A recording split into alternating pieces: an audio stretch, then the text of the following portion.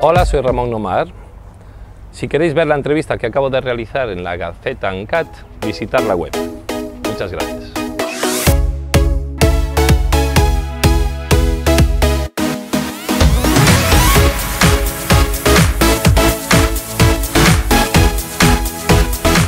Para desilusión de mi padre, porque a él le encantó verme abanderado ahí desfilando delante del rey don Juan Carlos y todo.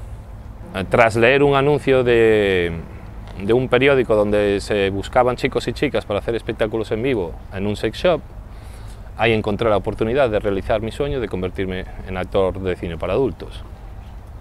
Yo llegué al Festival Erótico de Barcelona con mi librito de fans, me acuerdo de, de tener autógrafos de Jana Jameson, de Jill Kelly, que aquellas eran nuestros ídolos, ¿sabes? Y durante el festival hacían un casting dirigido por Luca Damiano, en el cual estaba buscando al nuevo Rocky Freddy, ¿no? Y mira por dónde fue que nuevo Rocco Freddy fui yo después de otros seis muchachos que intentaron hacer el casting delante de 2.000 personas allá en el pueblo español, que aquella carpa era gigante y solamente era para ese espectáculo, en donde pude trabajar, tuve un orgasmo y aquella multitud acabando, acabó ya, diciendo Ramón, Ramón. ¿Qué pasó? Que en el espectáculo también estaban los mejores productores europeos. Entonces, si tú eres capaz de hacer un espectáculo en vivo delante de tanta gente, ¿cómo no vas a ser capaz de hacer sexo delante de la cámara?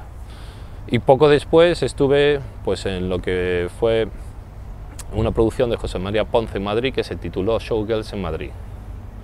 Trabajando ahí Nina Harley, Shaila Labus, unos nombres increíbles. Y que debido a mi potencial y a problemas que tuvieron mis compañeros, en mi primera producción tuve que doblar a dos personas. O sea que si en esa, si en esa película hay cinco escenas, de las cinco, tres soy yo, aunque no se me vea la cara.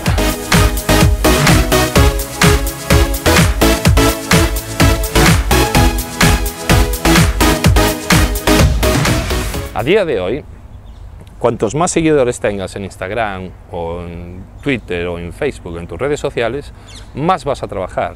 ¿Por qué? Porque los productores van a hacer el producto, te lo van a dar a ti y tú lo tienes que promover. Si tú quieres entrar en este negocio, prepárate. No voy a aconsejar que si tienes 20 años empieces a tomar pastillas si tienes problemas de erección te voy a decir que te entrenes masturbándote como hacía yo cuando tenía 20, porque es normal que no vayas a durar 30, 40 minutos si tú no mantienes erecciones al día durante 30, 40 minutos. El pene no es un músculo, pero en parte funciona como tal, porque necesitas tener un riego sanguíneo durante, cierto, eh, durante una cantidad de tiempo.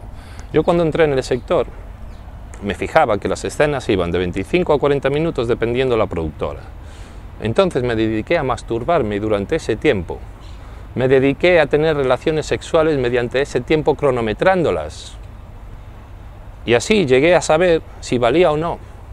Cojo el reloj, me masturbo, si tengo mi pareja, estamos haciendo el amor, follando, lo que sea, durante ese tiempo y cuando suena la alarma es cuando me corro. ¿Qué pasa? Que con esa, eh, el cuerpo humano es un sistema de hábitos. Y te, lo digo en este aspecto, cuando tú estás masturbándote eh, continuamente durante ese tiempo y dejas de hacerlo, curiosamente durante la misma hora del día, si lo haces siempre a la misma hora, vas a volver a tener esas elecciones.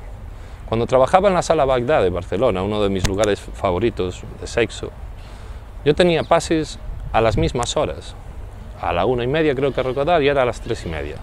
Cuando dejé de trabajar en el Bagdad, a la una y media de la mañana tenía elecciones y a las tres y media de la mañana tenía elecciones. ¿Por qué? Porque tu cuerpo está habituado a eso.